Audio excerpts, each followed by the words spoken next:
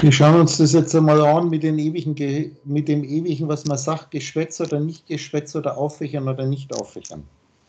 Ich habe dir das gesagt, das ist das erste Mal, was den Chat anbelangt. Es ist eine Erscheinung in dir, wie tausend Erscheinungen.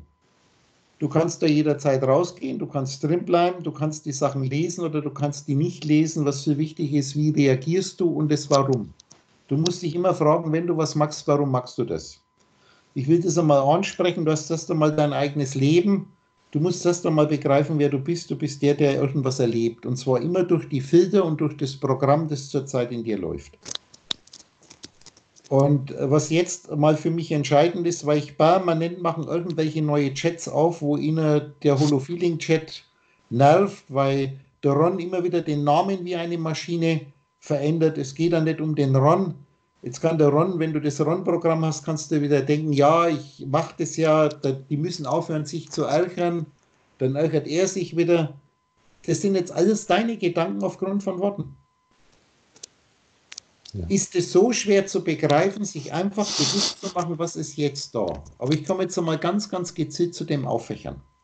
Das heißt, wenn wir jetzt diesen Chat anschauen, unseren Chat anschauen, die Chat-Gedanken,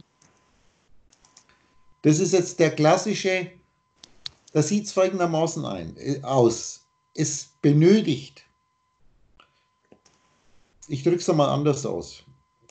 Ich gehe mal da nochmal zurück. Es ist zuerst einmal, wenn einer anfängt zum Aufwächern. Es erfordert sehr, sehr viel Mühe, um fleißig das anzueignen. Wenn du Klavier spielen willst, dann musst du irgendwann einmal dir das beibringen. Ob du jetzt dabei Noten lesen lernst oder nicht Noten lesen, spielt dabei überhaupt keine Rolle. Es gibt ganz hervorragende Klavierspieler, die keine Noten lesen können. Die sitzen aber mit Sicherheit hunderte, tausende von Stunden an Klavier und klippern rum und spielen entweder nach Gehör. Du musst es lernen. Es macht Mühe. Und ich sage immer wirklich, lernen tust du nur was, wenn dir das Freude macht. Wenn, dir keine, wenn du keine Freude dran hast, dann ist es ein Programmiertwerden. Und genauso ist es mit den Auffächern. Und ich gehe jetzt ganz gezielt für unseren Autor, weil ja der Autor rausgegangen ist, der hat jetzt auch wieder einen eigenen Chat aufgemacht. Weil er das Auffächern auflegt, äh, regt und dann bringt er noch diesen schönen Satz hier, ja, die fächern alle auf und blähen damit ihre Hybris auf. Da muss ich dir gleich sagen, in dem Moment, wo einer auffächern kann, passiert genau das Gegenteil, sondern er strahlt eine Freude aus, weil er was entdeckt hat, indem er sich das Auffächern, die Grundlagen der Vatersprache angeeignet hat, mühselig. Das ist wie eine Fremdsprache lernen. Und er will jetzt die Freude mitteilen. Was passiert, wenn du auffächern kannst, dass du normalerweise Reizauslöser hast, ich sage mal nur Worte, die du siehst, und die wirst du immer zwanghaft einseitig auslegen. Und in dem Moment, wo du die Worte genauer anschaust und die aufwächerst, siehst du plötzlich viele andere Perspektiven und damit neutralisiert sich dieser Gedanke. Das heißt, Gedanken, die du einseitig bisher nur zwanghaft interpretiert hast, negativ, werden durch das Aufwächern vollkommen neutralisiert.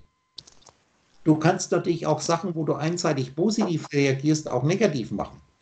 Aber dann schießt du über das Ziel hinaus. Wir wollen ja in die Mitte, in diese Neutralität. Ja. Und in dem Moment, wo das einer begreift, wie das funktioniert, und sage immer wieder, schau uns am BC an. Was sich in dem Leben eines Menschen verändert, jetzt normal gesprochen, in dem Moment, wo er immer mehr merkt, wie unendlich genial diese Schöpfung ist und dann zu behaupten, die blähen ihre Hybris auf. Das kann sehr nervig sein, aber nur nervig sein für einen, der nicht auffächern kann. Für einen, der selber anfängt aufzufächern, kriegt er extreme Inspirationsimpulse durch das Auffächern, wenn eine Auffächerungen reinstellen. Einer, der das nicht kennt, was beim Auto der Fall ist und beim Camp, ist es mühselig und ärgerlich und da sagen die, die blähen ja bloß ihre Hybris auf, wie gut das die sind. Das ist aber ihre eigene Interpretation. Es passiert genau das Gegenteil. Man hat natürlich eine Freude, wo ich sage, man will die anderen an der Freude teilhaben lassen und ist auch wieder blind, weil man dabei nicht bedenkt, dass einen, der das nicht kann, total nerven kann. Das kann man natürlich auch übers Ziel hinausschießen, je nachdem, wie man auffächert. Ich fächer ja, wenn ich jetzt als Udo was reinstelle, ein Update reinstelle, ich fächer auch auf, aber nur ganz, ganz wenig. Ich halte es extrem im Zaum diese Freude sieht man dann bei unserem Thomas, wenn der auffächert. Das ist so wirr aufgefächert ohne Ende, dass es, ich sage, du musst es doch nicht lesen. Das kannst du nachvollziehen, wenn du aufwächern kannst, was er macht. Aber der macht immer viel zu viel, der schießt da übers Ziel hinaus und merkt gar nicht, dass er hier die große Masse absoluter Mitte überfordert. Aber mit Sicherheit nicht, weil er mit seiner Hybris aufbläst. Und wenn ich dann so Schwätze höre, wenn ich das mache, die blähen die Hybris auf, dann kann er mal gleich irgendwas reinschmeißen oder Tüte rauchen. Äh, da hat er noch nie losgelassen, da wird er kein Bewusstsein davon bekommen. Mhm. Bewusstsein ist, wenn du viele Perspektiven gleichzeitig wahrnimmst und das bewusst steuerst. Ich kann, wenn ich mir LSD reinschmeiße, wir machen mal das Extreme, kann ich als Geist, kann ich einen absolut abgefahrenen Trip erleben. Das hat aber mit Bewusstseinserweiterung nichts zu tun, weil du bist gezwungen, dir diese Scheiße anzuschauen, die dann in deinem Kopf abläuft. Und Freiheit beginnt, dass das, was ich anschaue, ich ganz bestimmt steuere, was ich aus diesen Informationen mache. Das passiert beim Aufwachern. Du bist in einem, in einem gewissen Maß in einem Rausch deines Intellekts, solange du einseitig reagierst. Das ist unfair.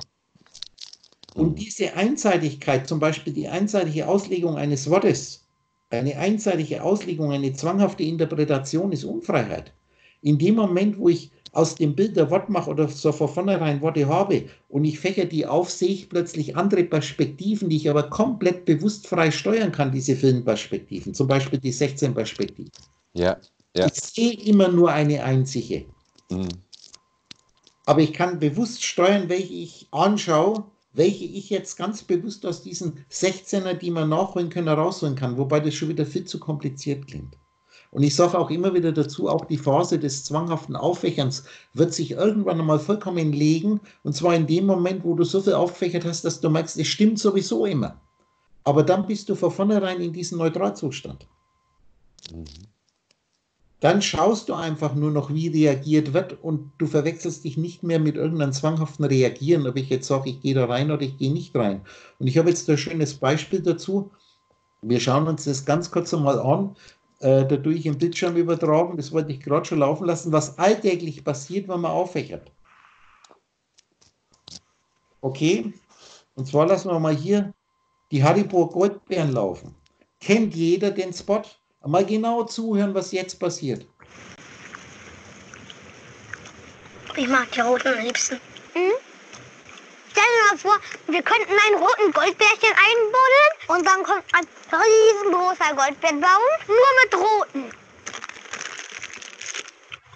Das ist die beste Idee, die ich je gehört habe.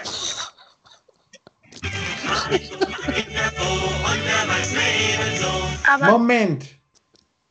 Das ist, die meisten schalten hier schon ab. Im Fernsehen kannst du nicht abschalten. Aber jetzt pass auf, wie es weitergeht. Aber wir können auch neben den roten auch einen grünen pflanzen. Auf jeden. Ja. So. Und jetzt pass auf, was passiert, wenn wir anfangen aufzufächern. Hast du mal, wir fangen ganz einfach an. Am liebsten sind mir die roten. Jetzt muss man natürlich wissen, dass rot das hebräische Wort für Adam ist. Das ist das Gotteskind. Am liebsten sind mir die Roten. Ich bin rot. Das heißt, die wirklichen Menschen, das, was ich Geistesfunken nenne, wo jeder dieser Geistesfunken, ja, der Adam ist ja männlich und weiblich denke und ausgedacht ist, wo jeder in seinen eigenen Traum aufgrund seines blauen Ich-Lebens lebt. Okay? Dieses Adam kann man natürlich jetzt hebräisieren, ganz normal, das als Imperfekt lesen, das Aleph heißt es, ich werde zu Blut. Belut, Lut wiederum heißt in einer Hülle stecken, ich stecke in einer Hülle. Mhm. Es ist ein Adam, ist ein bewusst träumender Geist, der hier ganz, ganz genau weiß, den Traum, den ich erlebe, das ist jetzt mein Traum. Alles, was in mir auftaucht, kommt aus mir und ist so, wie ich es träume. Okay? Mhm. Am liebsten sind mir die Roten. Wir machen jetzt ganz einfach mal, wir können natürlich auch einen grünen Baum banzen die noch grün hinter den Ohren sind, die Autos der Welt und so weiter und so fort, die meinen, das ist nicht nötig oder die auf irgendwas negativ reagieren. Das hebräische Wort für grün, auch einen grünen Baum, das ist grünes Gemüse, grünes Grünzeug, das wird in der Regel ausgespuckt. Das heißt im Frühling, wenn es anfängt zu blühen, wird aus dem Baum wird was Grünes, die Blätter rausgespuckt. Aber die fallen irgendwann einmal wieder im Herbst ab. Das heißt, die werden das ewige Leben nicht erleben, weil sie eben noch keine Roten sind. Was natürlich sehr weit geht, weil wenn wir das jetzt wieder uns anschauen, ich sage immer bloß rot-blau, Intellekt ist rein die Berechnung von einer Affinität, die in der Regel nur einseitig angeschaut wird. Wenn ich immer sage, ich mache aus jedem Wort ein 400 Seiten Buch, das sind natürlich auch die Kleinigkeiten. Das ist jetzt hier zum Beispiel, was ich reinstelle. Wir machen nur mal unsere Farbnamen. Gelb im Osten, Blau im Westen, Grün, Greenwich, die Nulllinie. Kann man alles nachlesen. Das heißt dann die Hexe, die Hecken, die Zaunreiterin, ist die Mittellinie. Es gibt in deiner Welt keine Zufälle. Was da eine Tiefe in der Matrix im Hintergrund ist, wirst du erst merken, wenn du zum Aufwächern anfängst. Jemand, der sagt, wenn er aufwächern kann und das aus Freude mit anderen mitteilen will, der bläht seine Hybris auf. Wenn er dann noch Hybris hat, dann kann er nicht aufwächern. Das sind die, die das kritisieren, weil sie nicht mitkommen. Das ist eigentlich nur versteckter Neid. Wenn man sich selber wertfrei beobachtet, kriegt man das mit. Okay? Jetzt pass auf, ganz interessant, das Ganze dreht sich ja. Ich mache jetzt nur Stichpunkte. Immer dran denken, ich könnte jetzt jedes Wort ein 200 Seiten Buch machen. Unser kleines Video beginnt ja letztendlich mit Haribo. Ja. Also schauen wir uns das einmal an, was jetzt da passiert. Wir bleiben ganz einfach HAR.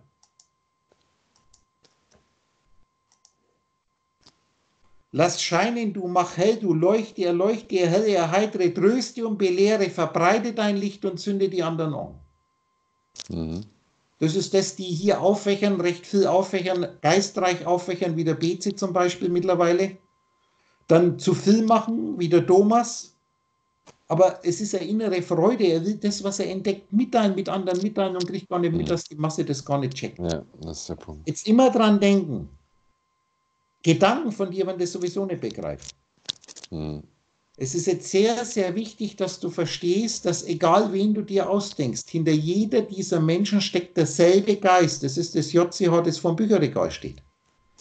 Der aber in eine Vergessenheit geht, sobald er in ein persönliches Leben, in einen persönlichen Traum eintaucht. Ja.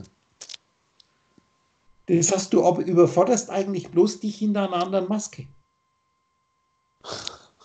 Was jetzt wichtig ist, dass hier, wir haben ja Hari, HR, machen wir mal ein I hinten dran. Und dann kriegst du den Löwen. Aha. Der Ari ist der Löwe, Hari. Ah, ja. Das ist jetzt der Löwe. Das ist immer wieder, wenn du schaust, eine tiefe biblische Metapher auch. Den Löwen wieder, wenn wir umsetzen, das B als W kriegst du.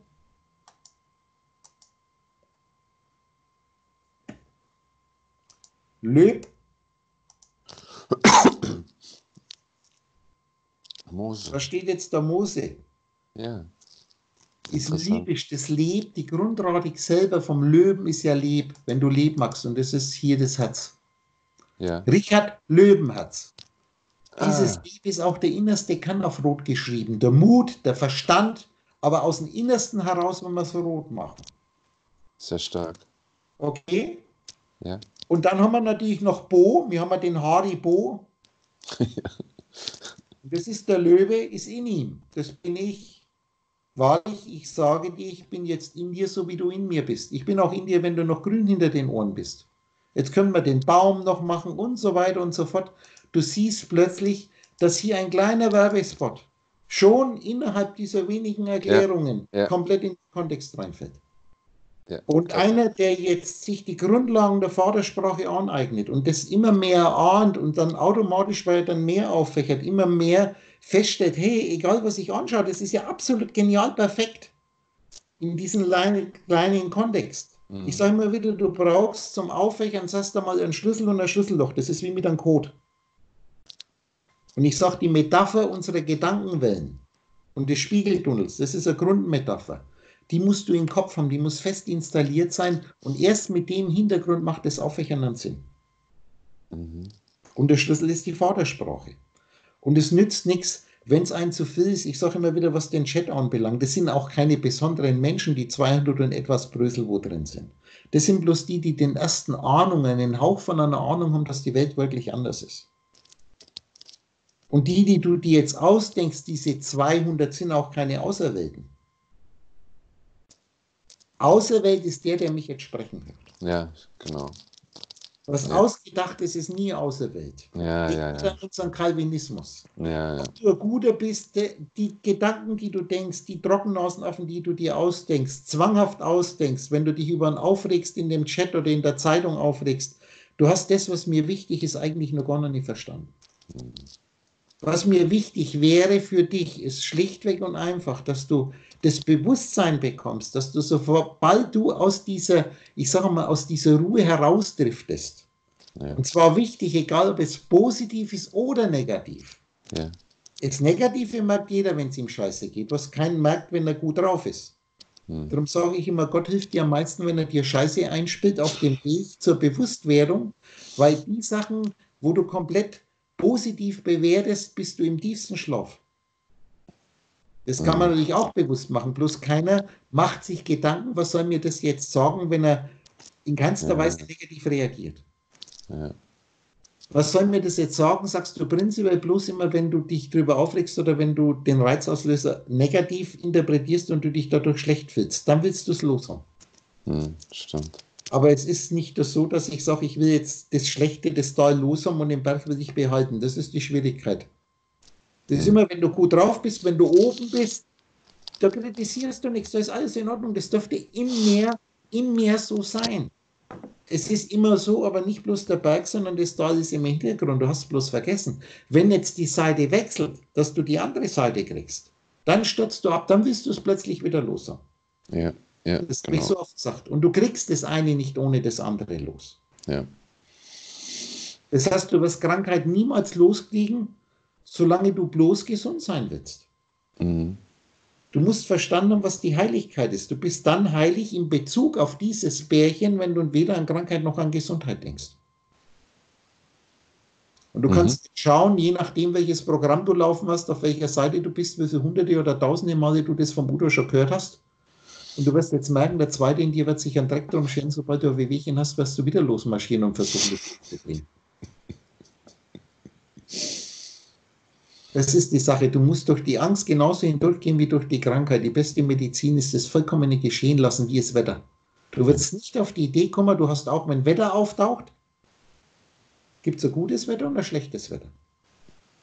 Und egal, ob das Wetter so oder so ist, da hast du zumindest nicht im geringsten das Bedürfnis, dieses Wetter verändern zu wollen. Du wünschst dir zwar, dass es anders ist, aber du versuchst es nicht zu verändern, weil du weißt, es geht nicht. Ja, genau. ja. Wie sieht es aus, wenn man von gesund und krank redet? Statt schönes Wetter und schlechtes Wetter. Ja. Da Ja. wirst du merken, wenn schlechtes Wetter ist, sprich, wenn du krank bist, das willst du loshaben und du willst bloß Gesundes.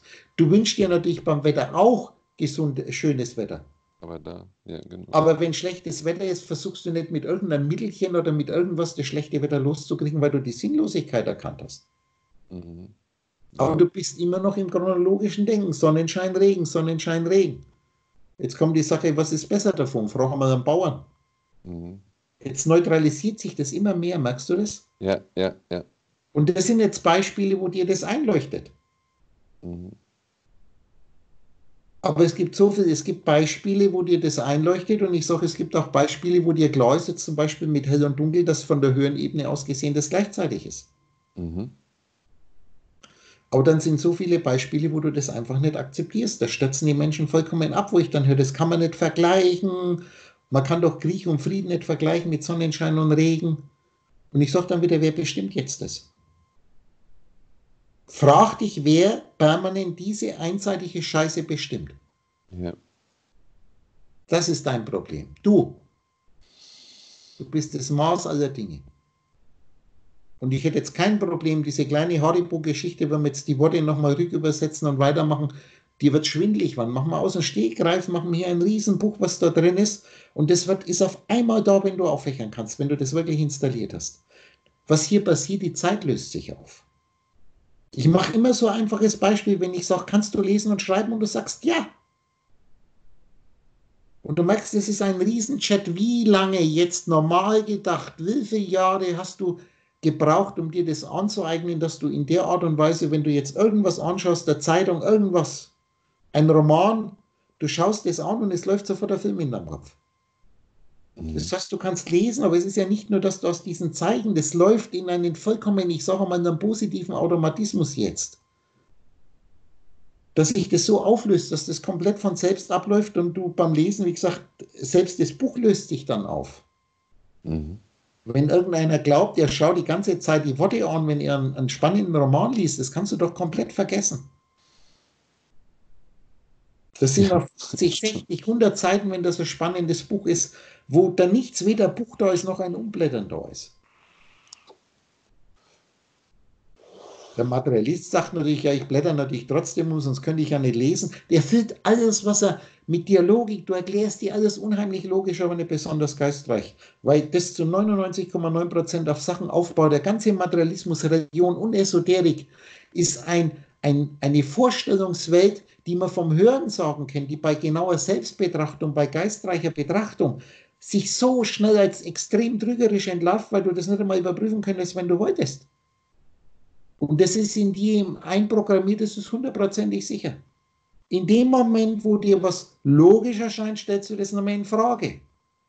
Du musst deine eigene, deine Logik, die du zurzeit zum Denken benutzt, in Frage stellen. In Du bist ich heißt es immer wieder, wenn du aufgehört hast, deinen jetzigen Glauben, deine Logik in Frage zu stellen, hast du aufgehört zu leben, dann bist du ein Zombie, eine reine Maschine. Ein Roboter. Denk wieder an Orbiten. Mhm. Einer, der verwaist ist, weil er seinen eigenen Vater, seinen eigenen Geist vergessen hat, verlassen hat. Er ist über den Jordan gegangen. Er ist Erd, IRD, das hebräische Wort für Jordan. Er ist Erd-Isch geworden. Er hat eine Gestalt angenommen. Das ist genau dieses Prinzip. Das habe ich so oft, das sind so Kleinigkeiten, das ist so tief, dass alle Sprachen, wie gesagt, nicht nur das Deutsche ineinander verschmelzen. Und da wirst du merken, ja, die Sprichwörter, darum wiederhole ich gerade für die Leute, die meinen, die haben es nicht nötig und die sich über welche aufregen, die aufwächern, weil sie die Freude mit anderen mitteilen wollen, dass die ihre Hybris aufbrasen. Und daher flüchten sie sich wieder zurück, dass sie meinen, sie kriegen irgendeine Bewusstseinserweiterung, wenn sie sich eine Tüte reinpfeifen. Es ist ein Davonlaufen von dem, eigentlich ist es in einem gewissen Maß eine Faulheit.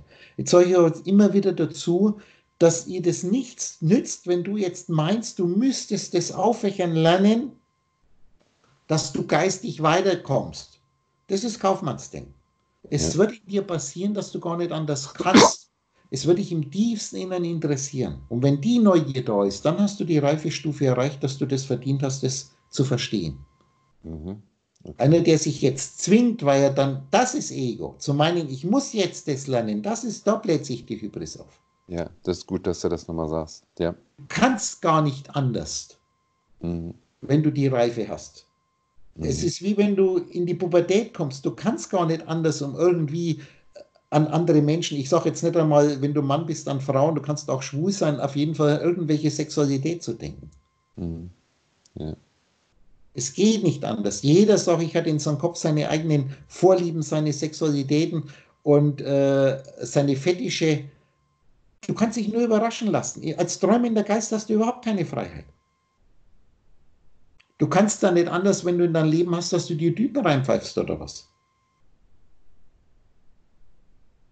Das suchst du dir nicht raus. Da gibt es keine besseren und keine schlechteren. Aber was passiert, wenn du als Geist, wenn ich in dir auftauche, die Reife hast, wirst du irgendwann einmal als nächstes den Punkt kriegen, dass du viele, viele Sachen wegfallen lässt. Ich erinnere an das letzte Selbstgespräch, wo ich gesagt habe, hier mit der Roswitha, die von mir damals Ja, dieses ja. dritte Wir sind alles das Buch gekriegt hat. Vom Jahr und drei Monate später, wo sie mich anruft und ich sage, hast du das schon gelesen? Und dann sagt sie, ich habe noch keine Zeit gehabt. Was ich in dem Gespräch nicht erwähnt habe, was meinst du, wie viel Dünnschiss und Fernsehserien, die sich reingezogen hat, diese drei Monate? Ja. Man muss ja Prioritäten setzen. Ich bringe ein Beispiel. Ich rede jetzt wieder, wir bauen mit diesen Worten eine Vorstellung einer Figur in unserem Kopf aus. Es Mhm. geht nicht um diese Figur, sondern um das, was ich dir damit erkläre. Ja. Du sollst dich beobachten, was dich interessiert. Und ich sage immer wieder dazu, du hast es nicht einmal zu verändern. Mhm. Ja, gut. Und wenn du jetzt sowas kriegst, offensichtlich ist es mühselig zu lesen. Für den, der die Reife nicht hat. Für Ja. welche, die die Reife haben, wenn ich jetzt so, und jetzt sage ich einfach wieder Namen, Redo, Diane, ich könnte jetzt zig andere, Thomas Rennings, alle die aufhören wie die Weltmeister. Weißt du, wie oft der diese, wenn ich immer wieder sage, wo ich mit Sicherheit was 10, 15 Mal, die haben diese ganzen Bücher, wo einen, der die, den Haufen sieht, auf einmal abschreckt. Die große Masse mindestens vier, fünf Mal schon gelesen. Nicht nur einmal. Du weißt, wo wir am Stammtisch sind und dann hier die Irene den Stapel kriegt vom Udo Stamm. Mhm. Dann blätterst du mal mit dem Finger so durch ein Buch durch. Das ist noch ganz anders, wie wenn du bei der Diana auf der Internetseite auf die Liste schaust und schaust dir die Bücher an.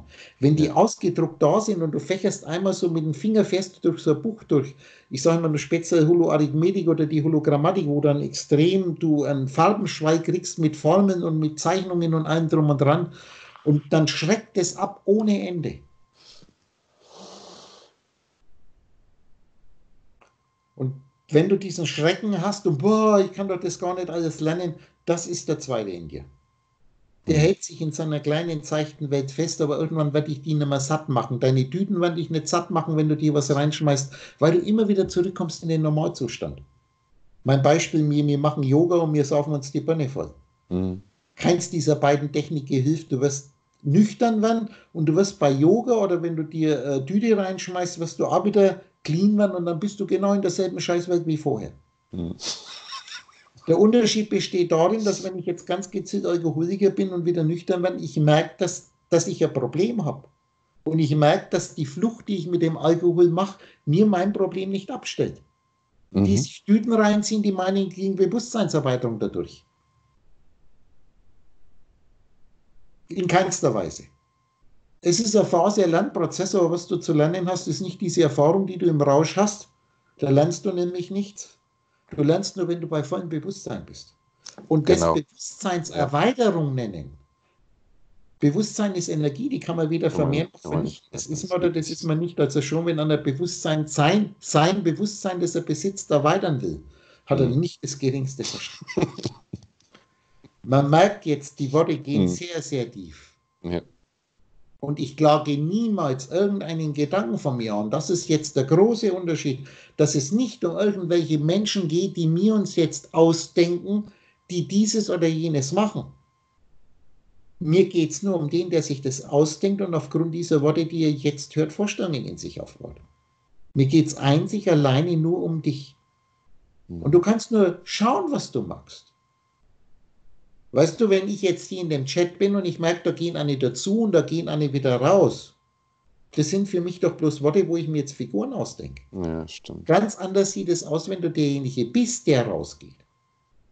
Wenn du die Rolle spielst, dass du rausgehst, schau mal das Warum an. Die Argumentation vom Auto ist ganz einfach mit seinem neuen Chat. Müssen wir jetzt mal hier, wenn ich, muss ich jetzt gar nicht ganz kurz, sondern wisst ihr, wie oft ihr, meine ich jetzt ganz gezielt Geistesfunken hinter verschiedenen Personas. Ich weiß es, weil ich der Geist bin Ja. ohne Filter. Wie oft ich hier immer wieder einen neuen Chat kriege, wo mich einer reinnimmt, weil er aus dem anderen Chat rausgeht. Ich müsste jeden Tag 20 verschiedene Chats anschauen, weil jeder meint, ihn richtet der Chat auf, er macht einen neuen Chat auf. Wo er natürlich gerade immer einige, die ihn sympathisch sind, reinhängt. Ob das die Naturfreunde sind, wo man hat, ob das im BC sein Chat ist, ob jetzt der neue Chat wieder vom Ado ist, dann hat der wieder mal einen Chat und der wieder einen Chat. Ich halte mich ja so, die Phase, wo ich einmal rausgegangen bin an dem ersten Chat, den ich eingestellt habe, wo der Thomas Mhm. dann ja neu gemacht hat. Mhm. Das ist, weil das wirklich dann wirklich nervig war. Wie der Ron in seiner Phase war. Dann hat man den Markus in seiner Phase. Dann hat der Bezi seinen Schreibdurchfall gehabt. Der schreibt immer noch viel, aber extrem geistreiche Sachen, die extrem inspirierend sind, vor allem für welche, die es lesen können. Ich sage immer wieder, die Donis sind ein absoluter Fan von Bezi. Diese zwei alten Männer, Menschen oder die Feddings. Weil die auffächern können und das nachvollziehen können. Da hat jeder Freude dran, der weiß, was ausge ausgedrückt wird. Ja. Beim Thomas Renning sieht es ein wenig anders aus, da wird es ein wenig mühseliger. Was nicht heißt, dass das schlecht ist, ist schlechter, weil er zu viel macht. Mhm. Wenn es einer lesen kann, ist gut. Was ein ganzes Extrem ist, aber was ganz selten ist, wenn der Wolfgang was reinsteht. Das ist Aber Oberliga. hallo. Wolfgang ist Ja. die Oberliga. Das hat jetzt nichts, es geht rein. Wir reden jetzt von Programmen. Welches Programm hast du in dir laufen? Ja, ja, ja. Das ist, muss, man aber, muss man aber kriegen, aber es geht hier nicht um besser und schlechter, weil du sollst dir doch all diese Sichtweisen zu eigen machen. Mhm. Es sind Facetten von dir, die du ablockst, weil du noch so in deiner, in deiner Rolle drin steckst. Mit dieser unbewussten Trennung, die anderen bin ich nicht. Holo-Feeling, du hast noch nicht mal verstanden, was das Wort Holo-Feeling bedeutet. Mhm. Also wir können auch ein grünes Bäumchen pflanzen, aber am liebsten sind mir die roten. Die Welt spricht zu dir mit jedem Zeug, da kann ich tausendmal sagen, gib mir Maggi oder Nordütensuppe und dann schauen wir mal, was da drauf steht und du kommst in eine komplett andere Welt. Mhm. Und was jetzt mir wichtig ist, ist nicht, dass du aufwächern kannst, sondern dass du erkennst, dass nichts, absolut nichts, was in dir auftaucht, ich benutze mal das normale Wort sinnlos wäre. Es hat seinen Grund, dass es in dir auftaucht. Es sind Facetten von dir selber. Und es ist doch schon wieder alles auch eine Form von Sekte, auch wenn eine meinen, die Handvoll Leute, die 200 und etwas Brösel, die jetzt in diesem Chat sind, wenn du meinst, du bist jetzt irgendwie was Besonderes oder was Auserwähltes, du bist etwas Besonderes. Du bist nämlich etwas, was nicht gedacht werden kann. Das ist das Besondere an dir. Und dann wirst du feststellen, dass das aber nicht die 200 sind, sondern der, der sich die 200 ausdenkt in dem Chat. Genau. Und auch die ganzen anderen. Egal welches Video er anklingt. Ja. ja. Der alles interpretiert. Das ist immer der Konformismus. Solange du etwas Besonderes sein willst, betreibst du Konformismus. Es ist jeder Mensch, ist ein ganz eigenständiger Mensch, so wie jeder Roman ein eigenständiger Roman ist. Selbst wenn du jetzt eine Kopie von einem Roman machst, ist zwar vielleicht der reine Dateninhalt, könnte ich jetzt sagen, ist dasselbe. Mhm. Aber als Kopie ist es schon was Besonderes, weil es ein anderer Datenträger ist, der ja untrennbar mit den Daten zusammenhängt. Wenn ich jetzt zum Beispiel hier dasselbe Bild auf zwei verschiedene Dateien abspeichere, ist es dasselbe Bild, wenn ich die Dateien öffne auf dem Bildschirm, aber schon aufgrund, dass die aus, anderen, aus einer anderen Datei kommt. Ist die eine schon was Besonderes im Vergleich zur anderen. Ja. ja. Weil die befinden sich, die Bilder sind dieselben, also die man rausrechnen, aber sie sind auf mhm. unterschiedlichen Gefäßen. Mhm. Ja. Ist ja wenn eine grobe Metapher, weil man muss eigentlich das wirklich verstanden haben. Und jetzt ist es das Schöne, dass man hier auch wieder, jetzt hast du mal, können wir die vier Seiten machen. Jeder Mensch schon aufgrund seiner Eigenart, seines unterschiedlichen Schwamminhalts, ist was Besonderes. Was mhm. jetzt die normalen Menschen natürlich kaputt machen durch den Konformismus, weil du dich ja schon einklingst in dein Umfeld. Ob dir mhm. das gefallen, ob du dir zerrissene Jeans anziehst. Ja, ich genau. kritisiere jetzt nicht, ich beschreibe wertfrei. Nee, nee. Wer ja. keine schultert, werfe den ersten Stein. Dein mhm. Glaube, deine politische Einstellung ist alles Schwamminhalt. Wenn du in den Spiegel schaust, das Spiegelbild, das sich in dir aufbaut, das hat nichts mit Schwamminhalt zu tun, das ist eine tiefere Ebene. Ich sage dann mhm. immer, du hast ein Kollektivprogramm. Mit dem Kollektivprogramm hat es auch nichts zu tun. Das war jetzt das Betriebssystem. Aber auf dem Betriebssystem ist dein Aussehen auch nicht drauf. Das wäre jetzt am Computer BIOS. Ja, genau. Das ist, man muss wissen, ganz grob für eine, die gar keine Ahnung haben. Du hast auf einem Computer schon ein Programm drauf, das du benötigst, um ein Betriebssystem installieren mhm. Wir können jetzt auf einem Computer, wenn ich einen ganz platt gemachten Computer habe, ich nenne das einmal einen platt gemachten Computer habe, muss dir klar sein, dass du, um ein Betriebssystem aufzuspielen, ob das jetzt Windows ist, ob das Linux ist, spielt keine Rolle, muss ja schon ein Programm drauf sein, dass du ein Programm aufspielen kannst. Mhm. Ganz böse ist, wenn das BIOS kaputt ist. Oh. Dann kannst du von außen, dann musst du das Ding zerlegen. Und das ist jetzt, wo ich immer sage, der Grundschwamm da ist nochmal eine tiefere Schicht da. Aber ich bin so in einer Vereinfachung in den ganzen Beispielen. Die können verstanden werden. Das reicht. Darum sage ich, konzentriere dich auf diese einfachen Beispiele. Mhm. Dein Leid wirst du nicht abstellen, indem du irgendwie von der einen Seite auf die andere hüpfst und von einem Teilbereich in den anderen reinhüpfst, sondern wenn du dich erhebst und begreifst, dass alles gleichzeitig da ist und dass das Teile von dir sind. Und solange du noch das Bedürfnis hast, wo drin sein zu wollen oder wo rausgehen zu wollen, weil es dich ankotzt, ja. hast du noch Feindbilder. Und wenn du, ob du jetzt aus einem Chat raus willst oder aus einer Partei raus willst, aus einer Kirche oder aus einer Krankheit heraus willst in die Gesundheit, mhm. Du hältst ständig deine Unheiligkeit am Leben. Ja, genau. Ja. Und da muss ich sagen, du musst nicht aufwächern können. Du könntest den Frieden auch haben ohne. Ich kenne bloß keinen, der es geschafft hat. Oh, Scheiße. Ich sage keinen Geisteswunder.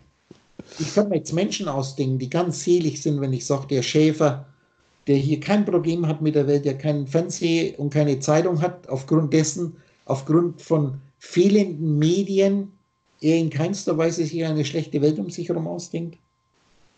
Wenn Menschen träumen, träumt jeder seinen eigenen Traum. Aber er lebt trotzdem in einem Teilbereich. Den Himmel auf Erden, da haben wir doch unsere 16 Zeiten. Ja. Aber wir wollen, dich sollte das heilige Ganze interessieren. Wir wollen in einem ganz, ganz anderen Bereich, wenn ich sage, Holofeeling ist was vollkommen anderes. Es ist eine vollkommen andere Welt, die sich dir öffnen kann. Dir Geistesfunken, nicht Tier Trockennasenaffe. Hm. Den wirst du opfern müssen, vollkommen. Das heißt, mit deinem Körper kommst du da nicht rein. So viel zum Thema, wenn man sich dann das Himmelreich vorstellt und dann bin ich ja wieder der Mensch oder so und so alt und dann treffe ich wieder auf meine Oma Ja. oder auf meine Eltern, die gestorben sind. Das sind so religiöse Märchengeschichten, religiöser Wahnsinn. Die Quelle von Leid in deiner Welt sind genau diese Religionen. Und ich meine jetzt nicht den Fanatismus nur von den Moslems oder den Christen, um das geht bei Beerdigungen schon los, wo ich sage, dieses Leid, wo in die Leute impliziert wird, dass man leiden muss, wenn einer stirbt, sage ich alternativ dazu die Bali-Geschichte. Jede einseitige Aussage kennt zumindest eine Kehrseite und viele Zwischenperspektiven.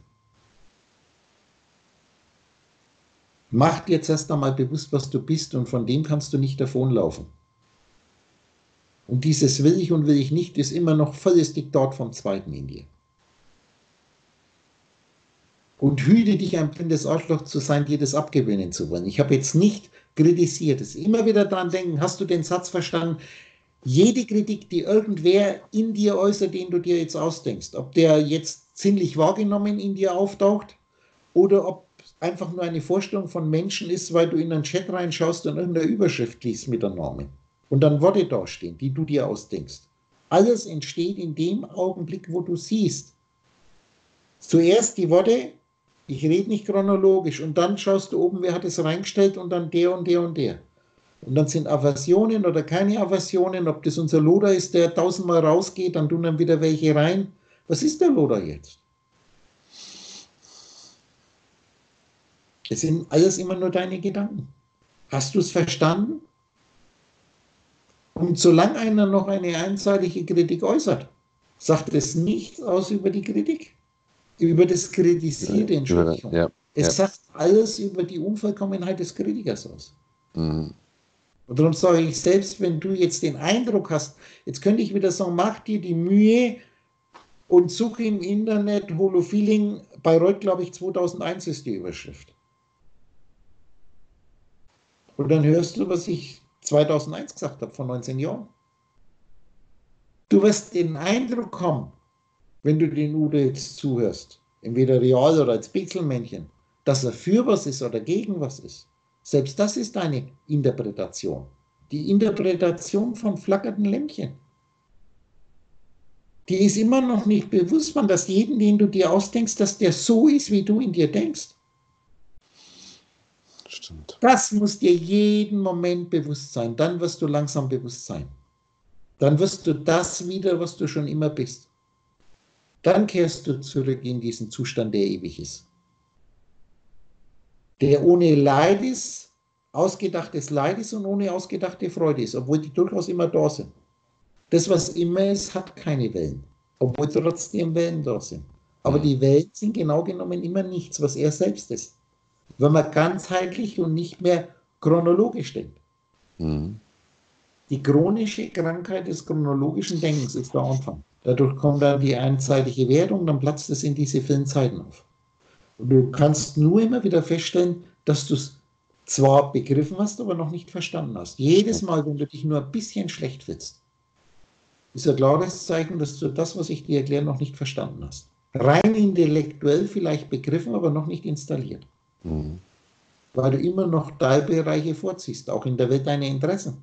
Dich wird alles interessieren. Entweder interessiert es dich aus tiefstem Herzen oder du hast es schon abgehakt.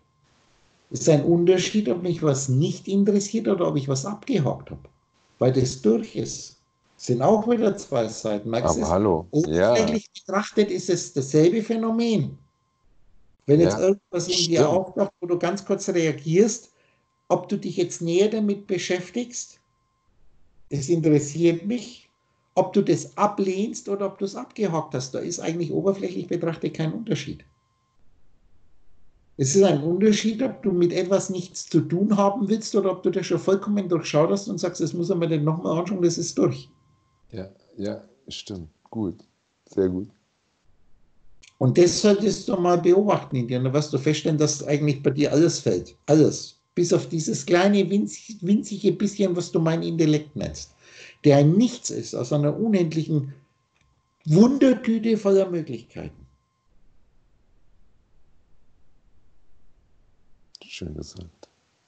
So, das war jetzt, wenn du sagst, schön gesagt, dann lassen wir das jetzt gut sein, sonst dass das nicht so lang wird. Super gut, super gut. Alles klar, checken wir uns da mal ganz kurz aus. Wir müssen einen ganz kurzen Nachschlag machen, weil ich natürlich im Maß der Vielsetzung, äh, wo ich gerade, ich will auf die Haribo vorhergehendes Video, äh, Video nochmal kurz reingehen.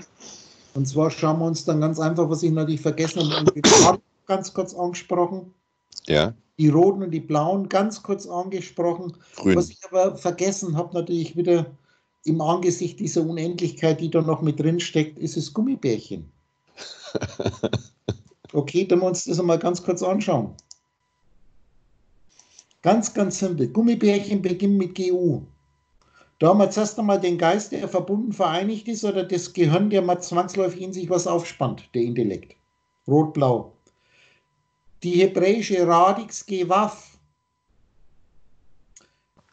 heißt eigentlich Baucheingeweide. Das sind ganz normale Übersetzungen nach Langenscheid. Eine Gemeinde von Geistesfunken ist eine Gemeinschaft im Inneren. Das ist das Innere. Mhm. Man kann übrigens auch den Körper rot machen, weil das hebräische Wort für Körper ist ja der Geist des UB. Das heißt, vom JCH aus gesehen ist der Körper die Bücher mit den dazugehörigen Geistesfunken. Ja. Das ist der Geist, ist vereinigt verbunden in der Weisheit und das ist der Geist von UP. Mhm. Okay? Aber was mir jetzt wichtig ist, dass dasselbe Wort auch Rücken heißt.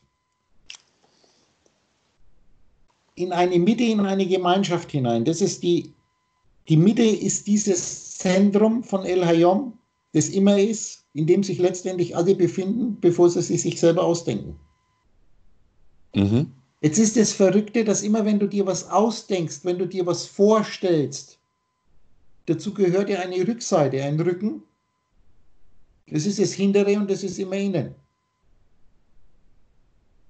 Ja, ja, okay. Du musst einfach meinen Gedankengang mitgehen. Ja, ja. Das Hintere ist immer innen. Darum ist das im Geist verbunden oder etwas geistig aufgespanntes. Das ist ja das mhm. Innere. Mhm. Und jetzt wird es interessant. Und dessen Rücken. Wie hast das da mal die Vorstellung? Und sobald du dir den Rücken denkst, wird er ja auch zu einer Information, mhm. die du dir trotzdem vorstellst. Mhm. Pass auf, denk dir ganz einfach mal das Licht, die Lampe im Projektor. Mhm. Du Geist siehst mehr oder weniger bloß die Schatten auf der Leinwand. Ich springe jetzt einmal auf die Leinwand. Von der Leinwand aus gesehen ist das Display schon im Projektor. Mhm. Das aber die Rückseite ist für die Bilder, die außen sind. Beim Diaprojektor Beispiel. Indern. Von der Lampe aus gesehen, wenn wir jetzt das einmal uns als Schichten Zwiebelschalen ausdenken, kommt zuerst das Display vom Projektor, das ist praktisch die Rückseite von dem, was ausgedacht wird. Das aber im selben Moment, wo man das so sehen, von der Lampe aus gesehen, das erste, was du dir ausdenkst, ist. Mhm. Wenn wir das als Schichten aufbauen. Und als zweites ist das Ausgedachte, weil auch das Innere, das du ja normalerweise nicht denkst, die fehlende Seite, mhm. ich das immer nennen. Wir brauchen ja zu dem zu den Schatten brauchen wir ja ein, ein wie ich immer sage, Dia-Positiv und Dia-Negativ. Ja. Da haben wir schon wieder das Plus und das Minus. Das genau genommen aber zusammengeklebt sich gegenseitig aufhebt. Mhm. Es ist weder schwarz noch ist es weiß, ausgedacht. Shin Ares, das Schwarze, negativ gelesen heißt logisch aufgespannte Erde. Logisch Mhm. aufgespanntes, erwecktes Wissen. Mhm. Weiß wiederum ist Leben. Leben, auseinandergeschmissene polare Existenz. Okay, wir haben jetzt da den G-Waffen, wir wollen dann nicht das GU gelesen. Man kann ja da sicher mal reinmachen. Ich UB bin die absolute Synthese aller Geistesfunken und ihrer Gedankenwellen. Das ist der, der vom Bücherregal steht. Das rote Ich, das ein Buch in der Hand hat, ist die Synthese von all dem, was in dem Buch drin ist. Nur von dem einen Buch, das er in der Hand hat. Mhm. Und diesen Gedankenwellen. Du bist die Synthese von allen Gedankenwellen, die du dir jetzt mit deinem bestehenden Intellekt aufschmeißen kannst. Mhm. Als rote Sicherheitsgeistesfunken. Und immer dran denken, wenn du träumst, du kannst ins Internet gehen, jede Internetseite, die im Traum auftaucht, kommt aus dir. Mhm. Jetzt hast du doch so schön die 16 Seiten mit dem Internet gemacht, wo man sagen, es ist mein Internet oder ist es ein anderes Internet? Es gibt ja andere Internets auch, Ja. die ich mir ausdenken kann. Wenn es meins gibt, muss auch ein anderes geben. Auch Mhm. wenn das jetzt ein bisschen abstrakt klingt. Ich UB bin reine Liebe, Allverstehen und absolute Demut. Und jetzt müssen wir wissen, Demut wiederum heißt ja Vorstellungen. Alle Vorstellungen, die absoluten Vorstellungen. Mhm. Diese Demut ist das Ziel, das du in unserem Lebensspiel erreichen musst, wenn du es GW innen. Schau mal, Mhm. Ja. ist ja auch GU innen. Ja. Ja. Und innen ist immer innen und die Rückseite. Ja. Ja. Diese ausgedachte Rückseite ist jetzt praktisch hier das Negativ für das Positiv, das du außen hinstellst. Oder wir sagen für Ah. das Positiv, für das Negativ. Jetzt, wenn du wieder aufgespannte existierende Öffnung, eine aufgespannte existierende Öffnung einer Rückseite, die du dir jetzt ausdenkst. Jetzt wird es aber interessant, dass dieses ND, habe ich ein paar Mal schon gesagt, Mhm. dass dieses ND, diese existierende Öffnung, schauen wir uns nochmal genau an, im Hebräischen geschrieben, heißt es zuerst einmal ein Damm, aufgedämmte Wasser. Ja. Schauen wir mal. Die geöffnete Schöpfung besteht immer aus 2 mm. Mhm. Das heißt jetzt dann gleich in Gummi, da gehen wir gleich nochmal zurück. Okay, wir haben einen longitudinalen Fluss, wie ein Zeitfluss von der Vergangenheit und Zukunft fließt der Fluss von der Quelle, die in der, angeblich in der Vergangenheit liegt, wenn ich unbewusst chronologisch denke, zum Meer. Mhm. Jetzt machen wir da einen Damm rein und dann wird aus dieser Bewegung von der Vergangenheit in die Zukunft, von der Quelle zum Meer, zum Immersein, staut sich das Wasser und wir kriegen hier ein Schwanken, ein sich bewegen, das jetzt nicht mehr longitudinal, sondern transversal wird. Ein reines Auf und Ab. Ich lasse das aufstauen, dann lasse ich wieder was raus, was jetzt nicht ins Meer fließt, sondern zurück in dir fließt, weil du bist ja immer. Mhm. Aber du bist auch die Quelle, wo es herkommt. Äh, ja. Ja. Ja. Kannst du dir das vorstellen? Ja. Wenn du in mein Bild anschaust, das heißt, wir fließen nicht mehr von einem Entstehungsort der Vergangenheit in die Zukunft von der Quelle, sondern das ist ja ein Kreis. Wir wissen ja, das Wasser aus der Quelle kommt ja letztendlich auch aus dem Meer. Und Mhm. wenn ich einen Damm, eine geöffnete Schöpfung reinstelle und ich tue jetzt das Wasser aufstauen, dann ist es nur ein Auf und Ab. Und das ist das Schwanken, das Bewegen, Ja. sich hin und her bewegen, aber jetzt transversal im Jetzt, ein Kommen und Gehen, das ist die Gedankenwelle, wenn ich sie ganzheitlich sehe. Mhm. Okay, und das wird jetzt in dir aufgespannt und du projizierst es nach außen und machst dadurch raumzeitliche, chronologische Vorstellungen. Mhm. Gut, wir gehen Ja. jetzt nochmal zurück zu unserem Gummi. Und jetzt haben wir ja dieses Gu und dann haben wir ja die 2 mm. Und das sind meine 2 MMs. Gummi. G-U-M-M-I. Schauen wir mal, was das bedeutet. Von wem?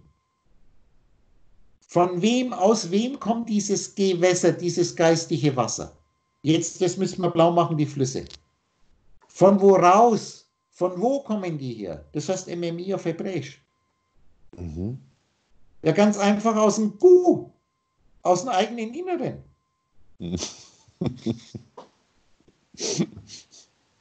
Jetzt, wenn du das das erste Mal hörst, wenn das einmal installiert ist, dann wirst du feststellen, boah, BC sagt immer, wie geil ist das denn, wenn ich ihn darauf hinweise? Wie geil ist das denn? Der bringt sich immer gar nicht zusammen. Er hat nämlich die Grundlagen schon, aber er sieht es von sich aus noch nicht. Und Ja, du wirst ja. dann anfangen, dich viel mehr mit Wörtern zu beschäftigen, nicht einfach kurz reinschauen und dann gleich wieder weggehen. Mhm. Das ist übrigens auch hier äh, genau genommen, da steckt er doch, da steht ja bei weitem nicht alles drin, immer an die 400 Seiten denken. Mi für sich alleine heißt immer die Frage, wer oder was. Werden wie Nomina gebraucht. Mi bezieht sich mehr auf Personen. Immer dran denken, Persona heißt nicht nur Maske, sondern ein Hindurchtönen. Von Personare kommt es. Ah ja. Ursprünglich. Das heißt, man spricht durch die Maske hindurch. Denk an unser Display im, im Videobeamer. Mhm.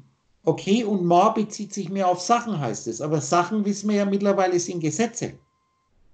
Ja. Zur Verhandlung kommt die Sache. Immer, für die, die es noch nicht begriffen haben, hat nichts zu tun, auch die Dinge hat nichts zu tun, darum muss man das immer wieder wiederholen. Nicht näher bezeichnete Gegenstände ist ein Blödsinn, gehen die Etymologie und da werde ich gleich zuerst einmal ganz von vornherein, wenn wir runterfahren. Ups. Gegenstand, Ding ist auch ein Ding. Dien heißt ja Gesetz und Glaube, das Gesetz des Geistes. Das ist das Ding. Kann man dann gleich nochmal anschauen, das Ding. Das kommt hier aus dem Mittelhochdeutsch eine Rechtssache, ein Rechtsstreit, eine Angelegenheit, eine Ursache, ein Ding. Es ist letztendlich ein Gericht. Gerichte sind immer Essen. Und Essen wiederum im Lateinischen ist Sein. Ja. Okay? Mhm. Und beim Ding haben wir im Prinzip dasselbe. Eine germanische Volks- und Gerichtsversammlung. Es geht hier ums Gericht.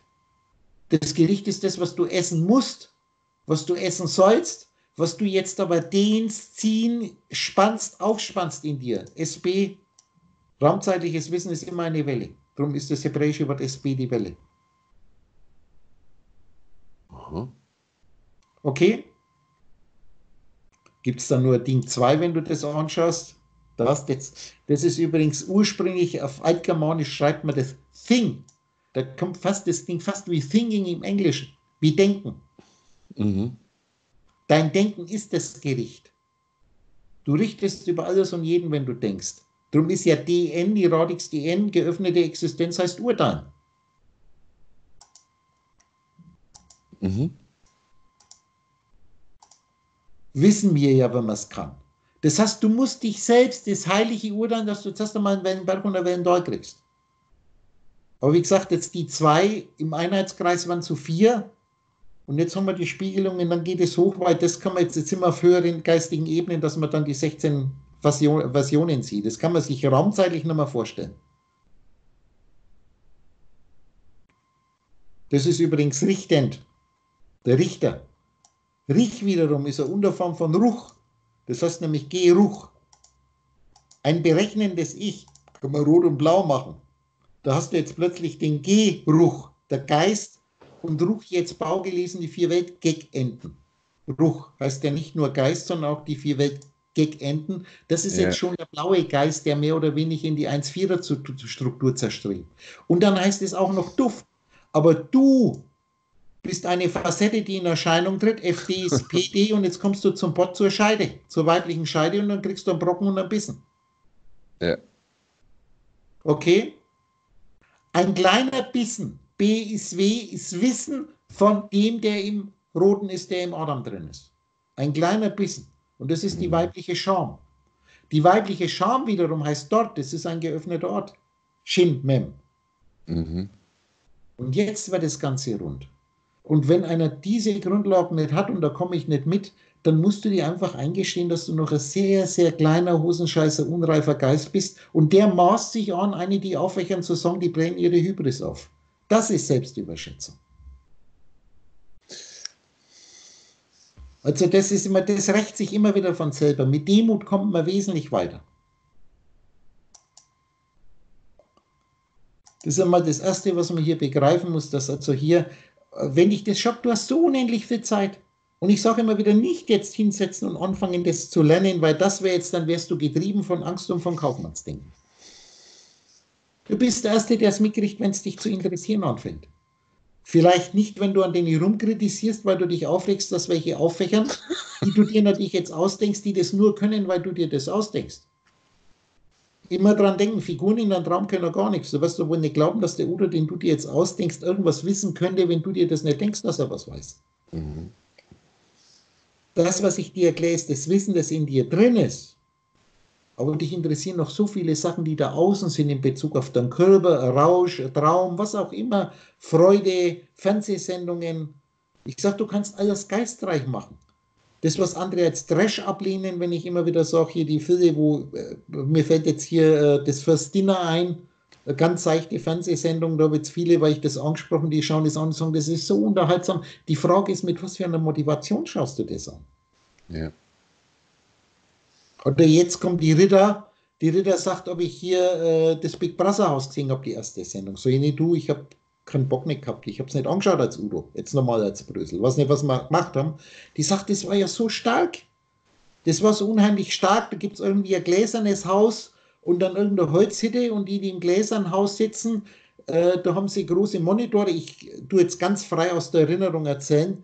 Monitore und da ist über Internet können Leute außen sich eine App runterladen und können dann ihre Meinung wiedergeben, was sie von diesen Teilnehmern an dieser Fernsehsendung halten. Ja, ja. Die, die jetzt da Selbstdarsteller sind, das wird denen eingespielt und die müssen das jetzt lesen, was die Welt da außen jetzt normal gedacht, was die über sie denken. Und die mhm. wieder sagt, wie da manche das Gesicht runtergefallen ist, wie die bei den Zuschauern da außen ankommen mit ihrer Art und Weise. Mhm. Aber ist das nicht das Spiel, ein Riesenspiel von Reaktion und Gegenreaktionen? Ja, genau. Ja, ja. Wer ist jetzt eigentlich, der das einfach sich anschaut, weil es in ihm auftaucht? In mir ist es nicht auftaucht, wie auch immer als Udo. Aber die Ritter sagt jetzt, die schaut ihn mit dem Geist, mit Holofeeling-Geist. Mhm. Die sagt, es war so unendlich interessant bei den Pixelmännchen, diese jetzt normal gedacht, diese Reaktionen, was die kommen und wollen sich groß machen, wir sind im Fernsehen und dann kommt von außen ein Schwall, jetzt nicht unbedingt von Hass, sondern von, was ist das für Arschloch, was bildet der sich ein? Und das tut natürlich ein Ego verdammt weh, wenn man das hören muss. Oh ja wie sich dann die Physiognomie an den Gesichtern dieser Pixelmännchen verändert. Mhm.